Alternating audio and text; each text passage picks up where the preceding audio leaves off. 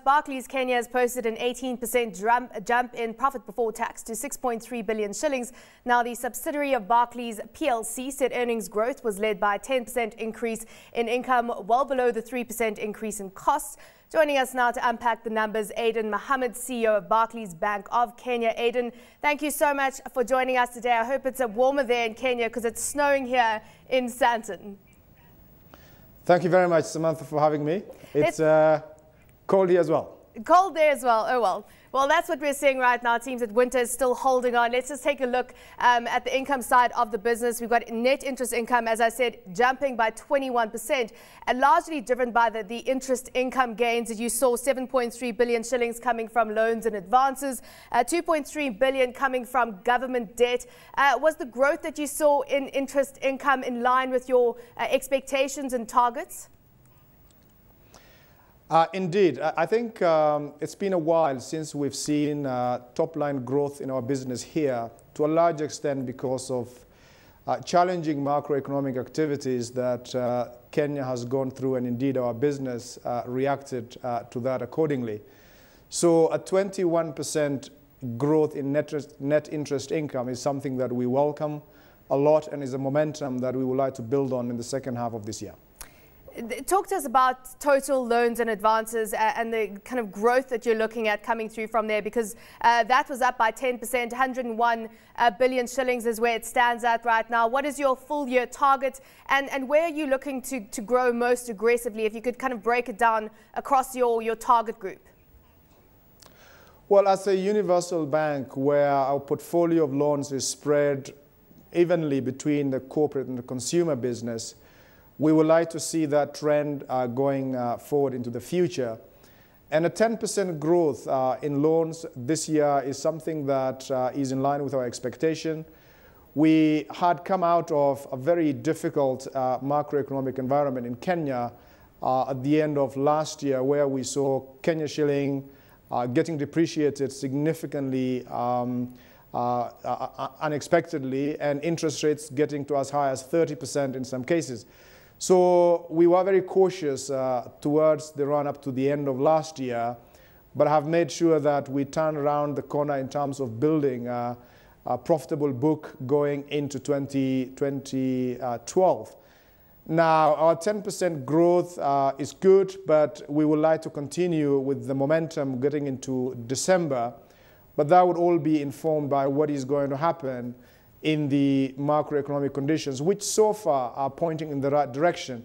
But clearly, with elections uh, approaching uh, in December and March 2013, we've got to be cautious in uh, how we grow that book profitably.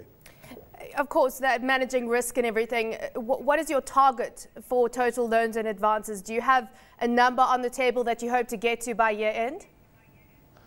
I think uh, our plan is to grow by at least another 10%, uh, but it really will be informed by, you know, what is going to be the case in the interest rates environment in particular. And I'm very pleased to see that despite what we saw last year in coming into the first quarter of this year, all the indicators are pointing in the right direction, and we just want to make sure we leverage on that uh, to get to our desired number. Talk to us about customer deposits because that expense line increasing quite substantially during the period to 1.22 billion shillings, yet the total number of customer deposits fell back to 122.48 billion shillings. So, so explain that uh, discrepancy there. Well, basically, what happened is if I just take a step back, in the year 2010, uh, leading into early 2011, interest rates were at extremely low in Kenya as low as between 1 to 2% in terms of interbank rates and rates on the treasury bills and bonds in Kenya. Now, those rates were never going to be sustainable, and a hit on the currency as well as inflation uh, forced the central bank to actually increase its central bank rate from something like 6.5% to 18%, uh, which has stayed there for a very long time until about a month ago. Now, the consequence of that was to drive the general level of interest rates very aggressively. And what we decided to do was to make sure that we were choosing selectively the kind of deposits and at the right price that we were taking on And so as a result of significant migration to customer deposits onto higher yielding assets like treasury bills, we were prepared to lose some of those deposits without necessarily taking them on expensively and passing that cost to customers. Let's so the decline in deposit rate is as a result of that. Yeah.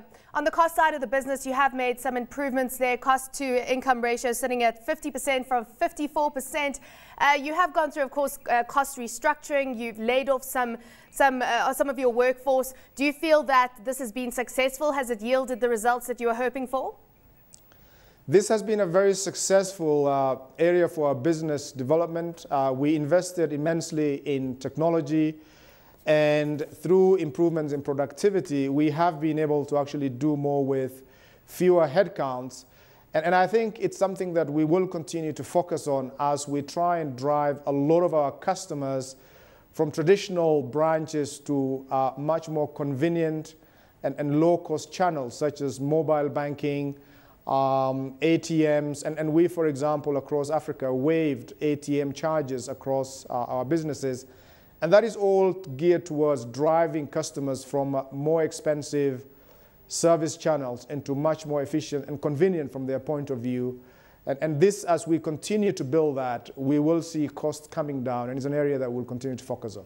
Adan, thank you so much for joining us today on Power Lunch. Adan Mohamed is the CEO of Barclays Bank of Kenya.